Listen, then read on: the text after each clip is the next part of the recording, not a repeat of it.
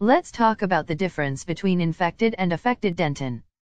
If caries is left long enough to penetrate enamel surface and as it reach the underlying dentine and is still left undisturbed the most superficial portions of dentine are liable to become carious, that is it becomes infected dentine. This dentine is that which suffers the greatest degree of damage due to the carious process, and following characteristics are observed.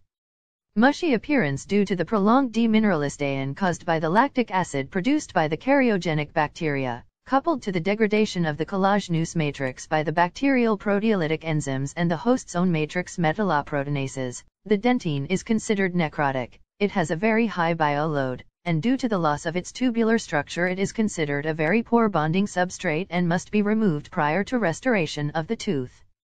Low compressive strength The loss of the tubular structure found in sound dentine and even caries affected dentine means that in order for full function to be returned to the tooth, and to prevent the tooth coming to greater harm under occlusal load, the infected dentine must be removed.